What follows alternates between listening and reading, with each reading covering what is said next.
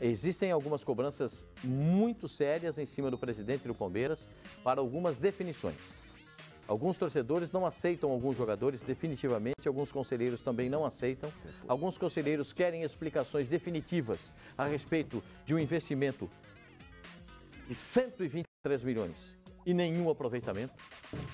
Nenhum 123. aproveitamento. 123 milhões gastos e nenhum aproveitamento. O que é aproveitamento para o torcedor do Palmeiras? Conquista de títulos.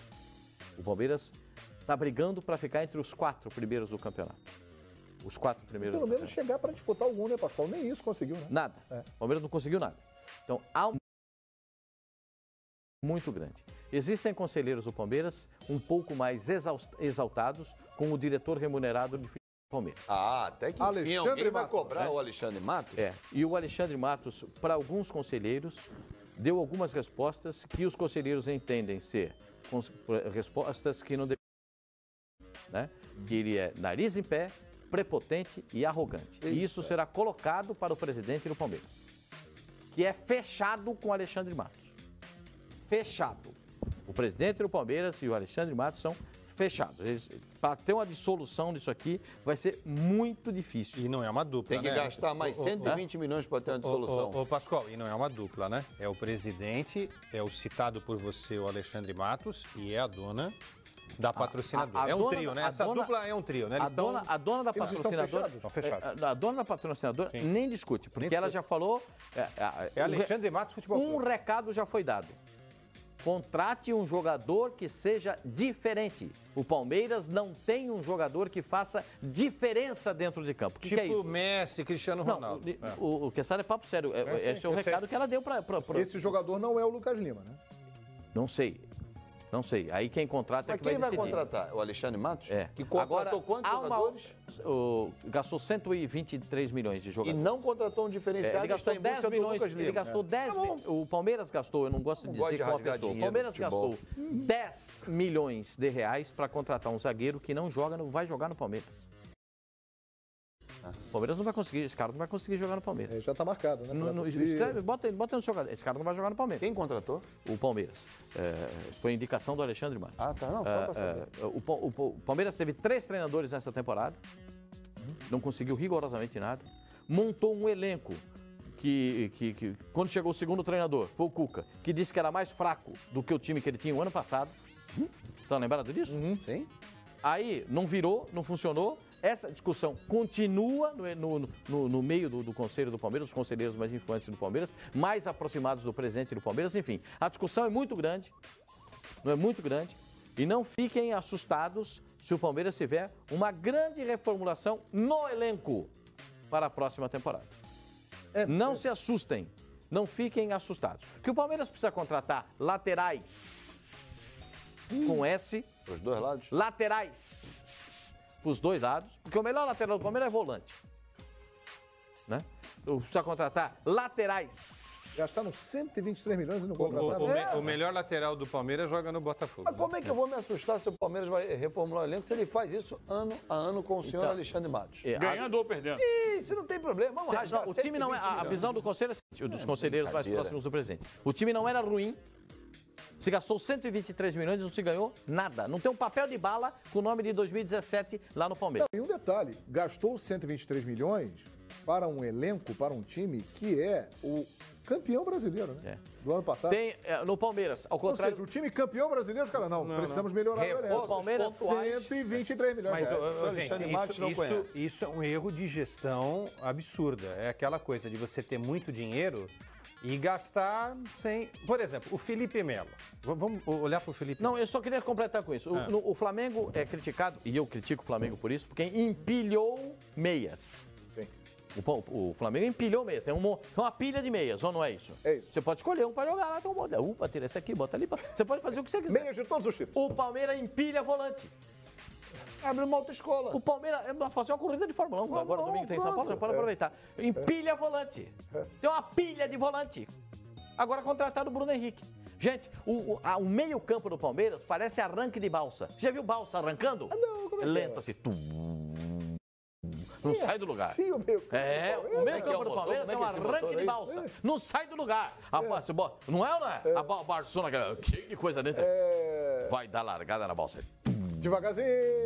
Não acontece nada. Não cara. acontece nada. É arranque de balsa. Ontem o time do Palmeiras é em muito bom. 15 minutos não viu a bola. Bola Palmeiras, Palmeiras bola, eles não viram. Estão procurando o Iago até agora para ver se consegue entregar-lhe um, um, boletim de ocorrência, porque ele atropelou o time do Palmeiras. É. Não conseguiram encontrar o Iago até agora.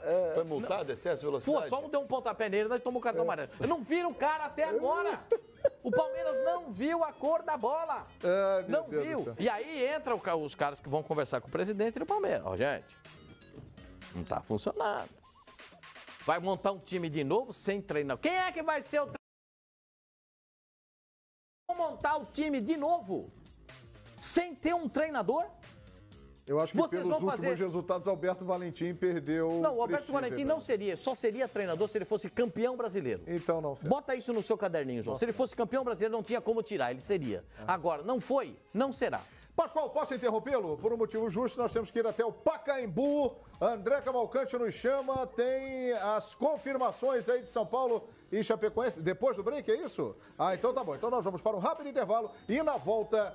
São Paulo e Chapecoense, o Pascoal vai continuar falando do Palmeiras, vamos falar do Vasco da Gama, grande vitória ontem contra o Santos. Tem informação também da eleição do Vasco, a juíza mandou, hein? Ah, é? A juíza mandou, já já!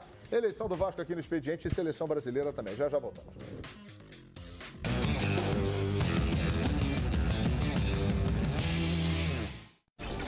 Expediente Futebol. Oferecimento NET, líder em ultra velocidade de banda larga, para você multitelar à vontade. Toyota Prius 2017, seu primeiro híbrido. Caixa, poupe para as prioridades. Pensou poupança? Pensou Caixa. Viva o seu momento. Acesse boombet.tv. E Petrobras Grid, uma gasolina fora do comum. O maior cestinha do basquete brasileiro, Oscar Schmidt, recebe o maior medalhista de todos os tempos dos Jogos Pan-Americanos, Tiago Pereira. Que é bom de piscina e bom de papo. Na sexta com Oscar. Nesta sexta, logo após Central Fox, última edição, no Fox Sports. Tá todo mundo multitelando com a NET. Eu posso multitelar minha série? Opa, lógico, dá pra ver aí. Aí também. Depois aí. Já chegou na parte que. Oh, foi mal, foi mal. Vocês querem ver outra coisa, né? Multitela com a NET.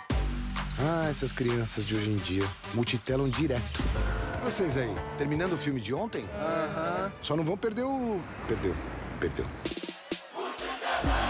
Banda larga é NET. Assine e tem até 240 mega pra multitelar. Por que tanta tecnologia no lubrificante? Pro seu caminho, isso é assim. Vai, vovó! Vamos, vovó, vamos!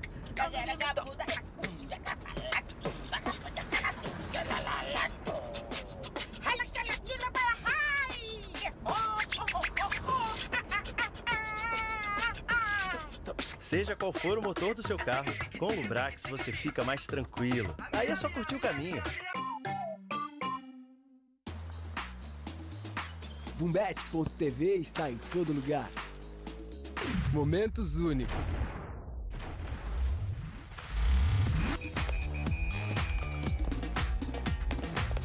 Momentos emocionantes. Momentos cheios de expectativa. A Bumbet.tv quer que você viva o seu momento, porque em um instante tudo pode acontecer. Bumbet.tv, viva o seu momento. Tem baita susto, tem cabeça de vento. Tem amigo do peito, mas tem jeito. Tem confusão, tem pouca atenção. Tem dias que nem tudo é perfeito. Mas se tem Mafre, tem jeito. Não faça um seguro de vida antes de ver a proposta da Mafre. Pede pro seu corretor.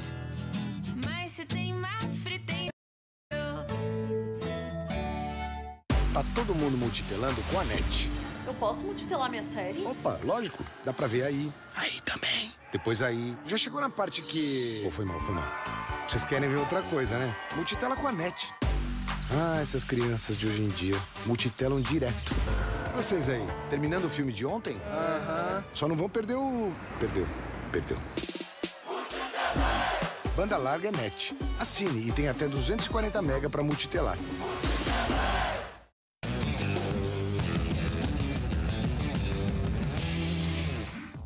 Muito bem, estamos juntos aqui no Expediente Futebol com a bola da Copa do Mundo. A Copa do Mundo chegando e nos canais Fox Sports, Rússia 2018. Aqui está Telstar 18, inspirada na bola da Copa de 70 no México e de 74, né, que foi na antiga Alemanha Ocidental. Vamos ver aqui.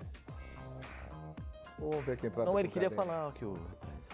Trata com Quem carinho. Tem preferência. Vamos ver aqui quem trata com carinho. Quem desloca, ver. recebe. Vamos ver, vamos ver. Depois eu passo a bola pra eles. Fábio Azevedo, não. É. Não tem intimidade com a Não, bola? é porque levou pro coração. Fica no banco, é isso? É? Não posso falar? tá bom, então. Então daqui a pouquinho a gente rola a bola. Vamos ver o que, que o Fabinho vai arrumar aqui. É, ele vai falar do Vasco, hein? Já já, notícia da eleição do Vasco, nós vamos analisar a grande vitória vascaína ontem. Surpreendente, eu diria, a vitória do Vasco na Vila Belmiro. Vinícius Júnior já merece ser titular no Flamengo. Tá aumentando cada vez mais ali a parcial. A galera quer ver o Vinícius Júnior de qualquer maneira como titular do Flamengo. 80-20. Todo mundo quer ver o Vinícius Júnior, que conversou com a gente hoje ao vivo aqui no Expediente Futebol. Voltamos ao Pacaembu, São Paulo Chapecoense. É, como nos bons tempos de rádio, hein? Escalados, definidos. Numerados? Numerados, é isso aí, André Cavalcante. Escalados, definidos, André Cavalcante. As duas equipes definidas, João Guilherme, e sem surpresas, nem na escalação do São Paulo, tampouco na escalação da Chapecoense. São Paulo que tenta emendar consecutiva no Campeonato Brasileiro, algo que não acontece na competição desde 2014, quando aquele São Paulo tinha ali no elenco Kaká, Paulo Henrique Ganso, Alexandre Pato. Em 2014 o São Paulo no Brasileirão conseguiu quatro vitórias seguidas. De 2014 para cá não conseguiu esse feito e pode buscar esse feito hoje diante da Chapecoense. São Paulo confirmado com Sidão no gol, Araruna na lateral direita, Arboleda, Rodrigo Caio e Edmar na lateral esquerda. À frente da defesa o Jusilei, depois vem aquela linha com quatro jogadores no meio campo, Petros mais pela direita, Shailon e Hernanes mais centralizados, ah, Marcos Guilherme mais aberto pelo lado esquerdo e na frente Lucas Prato, esse o São Paulo confirmado eh, e comandado pelo técnico Dorival Júnior aqui no Paquembu, diante da Chapecoense, também confirmada pelo técnico Gilson Kleina, com Jandrei no gol, Apodi na lateral direita, Luiz Otávio, Fabrício Bruno e Reinaldo. Pode funcionar a lei do ex hoje, o Reinaldo já foi jogador de São Paulo e no São Paulo tem o Shailo, que já foi jogador da Chapecoense, tem esse detalhe também.